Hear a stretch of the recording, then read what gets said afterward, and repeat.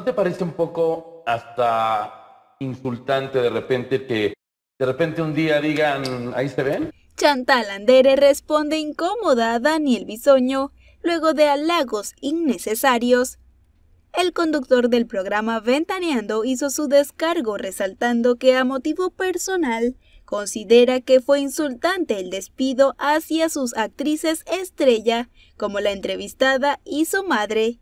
Asimismo, hizo énfasis en el gran dinero que dieron de ganar a la empresa por su impecable trabajo. ¿No te parece un poco hasta insultante de repente que eh, personas como Jacqueline Andere o como tú que durante tantos años dieron mucha ganancia a esa empresa, de repente un día digan, ahí se ven?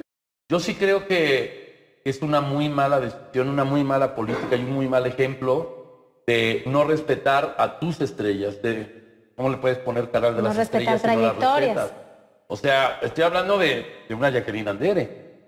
El papá siempre cuidó a sus artistas, o sea, Loco Valdés sigue teniendo su exclusividad porque... Vitalicia. Vitalicia. ¿Por qué? Porque saben lo que aportaron a la empresa. No sientes de repente así como, pues, ¿No te sientes defraudada? Como respuesta, la actriz se mostró agradecida por la oportunidad más allá de las alegrías y la satisfacción que la alberga. ¿Sabes qué, Dani? No. Y te voy a decir por qué. Primero por, lo, por las grandes cosas que yo hice. Cuando tú estás en un lugar de trabajo que te dio tantas alegrías y tantas satisfacciones, este, este quizás sentimiento de, híjole, ¿por qué? A mí se me explicó, el presidente de la compañía, el señor Azcarra Gallán, me citó en su oficina para explicarme lo que estaba sucediendo y los planes que tenían para la empresa. En este momento no les, no les funciona lo que se estaba haciendo antes. Yo creo que la vida es muy corta para pasártela mal. Yo lo que hice ahí me hizo demasiado feliz. Mi madre lo que hizo ahí también fue muy feliz y fuimos dos actrices muy respetadas y muy queridas siempre yo, sucede esto, en vez de tirarte al piso y decir, ¿por qué a mí? Si yo, no, así te tocó, así es la vida, para adelante a buscar cosas, pero con una ansia y con una pasión. Una importante reflexión que enfatizó fueron las palabras de su fallecido padre, quien en vida la preparó psicológicamente para enfrentar los duros caminos de la vida. Mi padre, que en paz descanse, siempre me decía, te dediques a lo que te dediques, tienes que tratar de ser la mejor.